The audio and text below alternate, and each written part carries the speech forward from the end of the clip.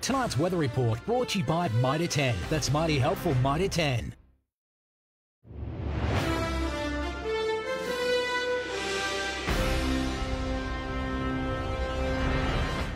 G'day folks, Livio Regano with tonight's weather. Once again, we've under forecast the rain across far north Queensland and the clearance keeps getting delayed. I'm tempted to just give up and acknowledge it'll keep showering forever, but we are finally seeing some improvement.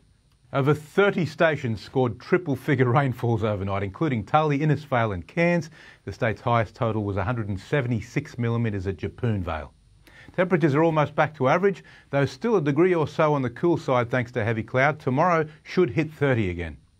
The satellite loop is very predictable. All the rains in far north Queensland, with the usual division being around Frosty Mangoes, sort of just south of Ingham, where the onshore winds start to accentuate the rainfall. As we go south, it hasn't been bone dry. We've had little showers and storms basically popping up around the Darling Downs, even parts of the Wide Bay Burnett.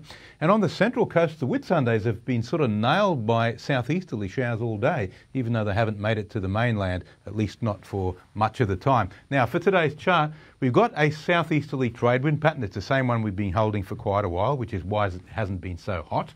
And there it is from that high coming across towards Tasmania, anti-clockwise wind flow moving up the coast in this direction. That's the inland trough that's triggered the uh, storms or, or, tall showers uh, west of the ranges today and on the ranges. On tomorrow's chart, the trough kind of disappears, so we don't get the storms anymore. We may still get one or two showers along the coast, but for the most part, it'll just be breezy and mostly fine. And on the outlook chart, it'll continue. And by this stage, in the tropics, it should start clearing up nicely. And now the latest from the Weather Bureau, the boating forecast for Cairns waters. Southeast winds up to 25 knots tomorrow, then settling back at 15 to 20 knots from the southeast on Sunday and Monday. The moon is very full right now and the ocean is swelling and shrinking like there's no tomorrow. The high tide will be quite late in the morning and pretty massive. North tropical coast and tablelands, a minor flood warning again for the Tully River.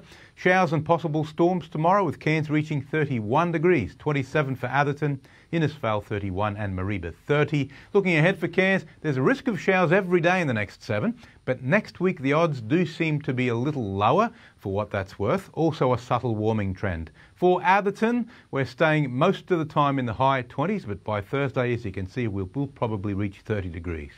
Well, that's another week gone. They sure go quick. Enjoy your weekend, whatever weather it brings, and I look forward to all of us convening once again on Monday, same time, same channel. Catch you soon, and now it's back to the team.